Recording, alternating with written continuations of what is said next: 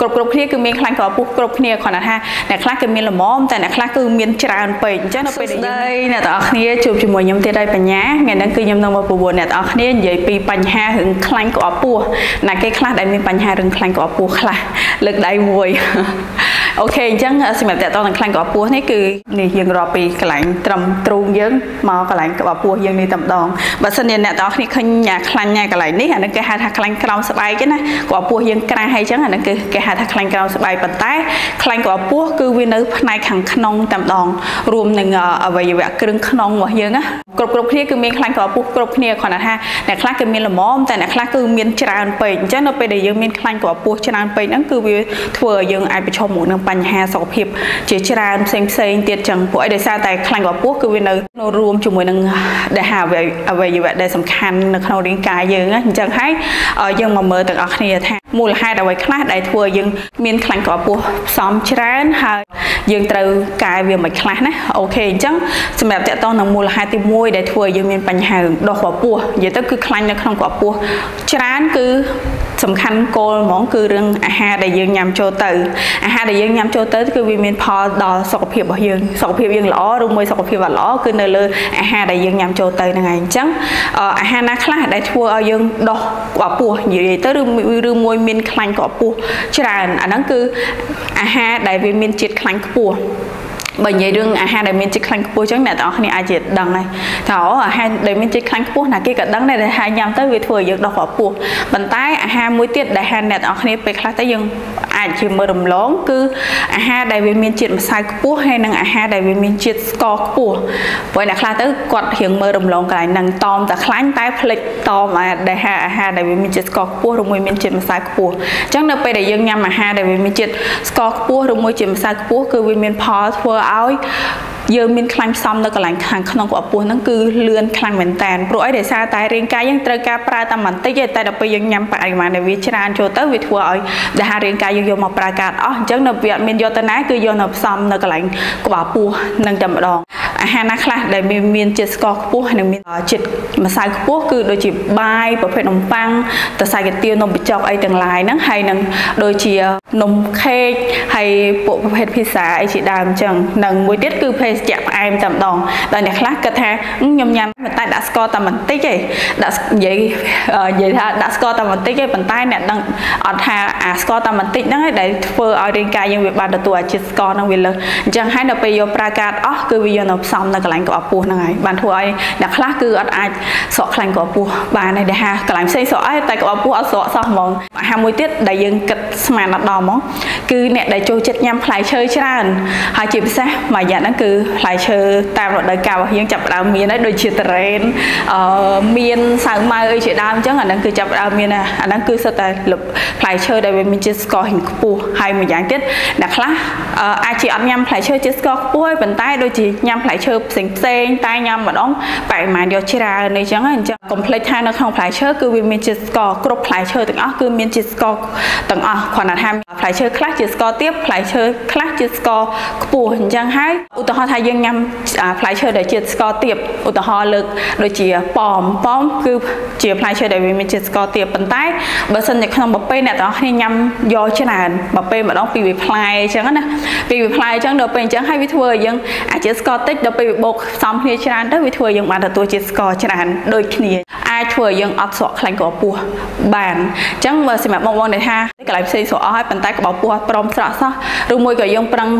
តមហាអស់ហើយប៉ុន្តែអត់ស្រកគីឡូសោះហើយអញ្ចឹងយើងសាកសង្កេតមើលខ្លួនឯងថារាល់ថ្ងៃយើងមានញ៉ាំផ្លែឈើច្រើនអត់ព្រោះអាហ្នឹងគឺអាចជាដែលថាពេលខ្លះយើងគិតទៅដល់ផ្លែឈើទឹកផ្លែឈើអីជាដើមយើងគិតថាវាល្អដល់សុខភាពវាយើងគិតថាវាអត់ឡើងគីឡូអញ្ចឹងទៅយើងចេះតែញ៉ាំញ៉ាំយកច្រើនហ្មងអញ្ចឹងហើយអាចធ្វើឲ្យអ្នកទាំងអស់គ្នា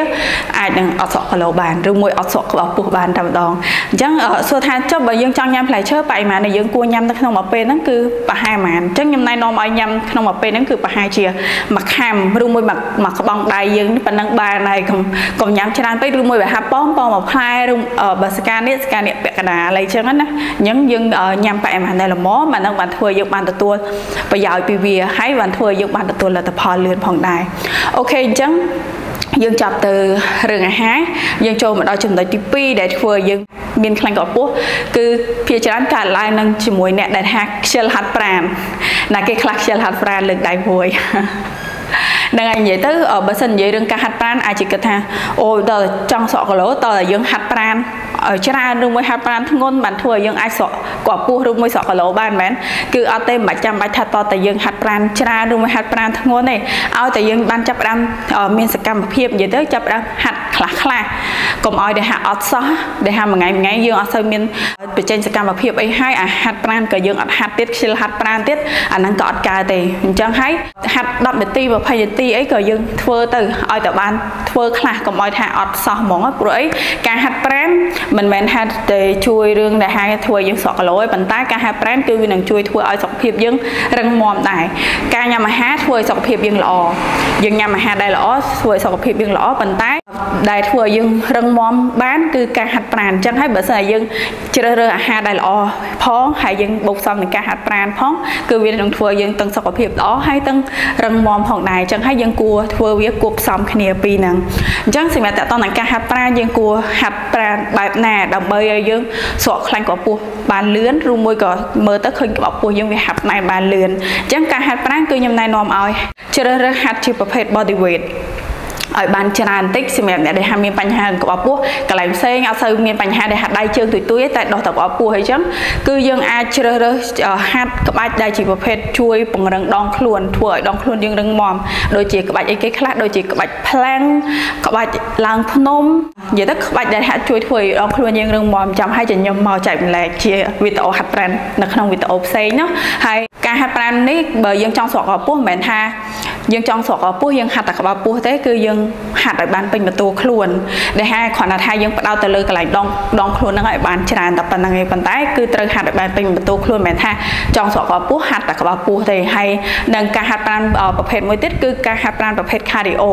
ណែនាំឲ្យអ្នកនរគ្នាបូកផ្សំគ្នាទាំងប្រភេទ body weight ហើយនិង cardio ហ្នឹងគឺបូកផ្សំគ្នា cardio គឺប្រភេទអីខ្លះដូចជាការរត់រាំដើរហែទឹកធាក់កង់ហ្នឹងគឺជាប្រភេទ cardio cardio គឺវានឹងជួយទី1ធ្វើឲ្យយើងស្រកជាតិខ្លាញ់បានលឿនទី2គឺនឹងមិនជំនួយដល់បេះដូងយើងធ្វើឲ្យបេះដូងយើងរឹងមាំផងដែរអញ្ចឹងហើយ ហាត់ពីនឹងគប់ផ្សំគ្នា ទី1ហាត់អឺផ្ដោតលើដងខ្លួនឲ្យបានច្រើនតែហាត់ឲ្យបានពេញម៉ូតូខ្លួនហើយទី2គឺយើងហាត់ប្រភេទ cardio បូកផ្សំគ្នាសម្រាប់តើតើ cardio ក្នុងមួយសប្តាហ៍គឺខ្ញុំណែនាំប្រហែល150នាទីអាហ្នឹងយ៉ាងច្រើនណាតែបើហាបងបងអត់សូវមានពេលគឺអាចហាត់តិចជាងហ្នឹងក៏បានដែរអត់អីទេគ្រាន់តែថាឲ្យយើងបានធ្វើវាខ្លះអាហ្នឹងគឺល្អជាងយើងអត់បានធ្វើសោះហ្មងណាហ្នឹងហើយអញ្ចឹងក្នុងវីដេអូនេះគឺខ្ញុំមានមកចែកម្លែកដល់បងបងទាំងអស់គ្នាប៉ុណ្ណឹងសម្រាប់បងបងដែលថាស្ដាប់ហើយបានទទួលឲ្យគេខ្លះកុំភ្លេច comment ចែកម្លែកមកខ្ញុំវិញផងឬមួយដែលថាអ្នកដែលថាដឹងតិចនិចដែលក្នុងការស្រកវពោះលឿនឬមួយអីចឹងមានបទពិសោធន៍គឺអាច comment នៅខាងក្រោមវីដេអូនេះបានសម្រាប់បងប្អូនដែលថាមានគោលដៅចង់ផ្លាស់ប្ដូររូបរាងចង់ថែសុខភាពឲ្យតាន់ឆ្នាំ2022ហ្នឹងតែយើងអត់តាន់ដឹងវិធីឬមួយយើងធ្វើខ្លួនឯង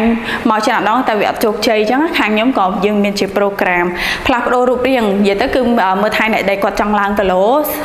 សម្រក់គីឡូថែរាងថែសុខភាពអីជាដើមអញ្ចឹងជាប្រូក្រាមអនឡាញប្រើអាហារូបត្ថម្ភជាជំនួយត្រូវបញ្ជាក់បងប្អូនទាំងអស់គ្នាកន្លែងហ្នឹងប្រើអាហារូបត្ថម្ភជាជំនួយបូកផ្សំនឹងការផ្លាស់ប្ដូររបបអាហារហើយនឹងការហាត់ប្រាណអ្នកដែលអត់សូវមានពេលក៏អាចធ្វើបាននៅតាមខេត្តនៅប្រទេសក្រៅនៅប្រទេសណាក៏អាចចូលរួមជាមួយខាងពួកខ្ញុំបានដែរហើយអាចចូលមកវិភាគរូបរាងនៅវិភាគការញ៉ាំ free មុនបានមុនបានមុននឹងសម្រាប់ចិត្តចូល program អូខេអញ្ចឹងបើគិតថាវីដេអូនេះល្អកុំភ្លេច comment ត្រឡប់មកវិញផងហើយជួយចុច like ចុច share ឲ្យ page របស់យើងផងដែរអូខេអញ្ចឹងថ្ងៃហ្នឹងគឺមានមកចែកម្លែកដល់បងប្អូនទាំងអស់គ្នាប៉ុណ្ណឹងហើយយើងជួបគ្នានៅវីដេអូក្រោយបាយបាយ